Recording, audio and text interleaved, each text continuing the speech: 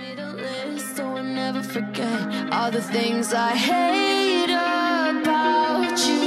Pretend you're selfish now.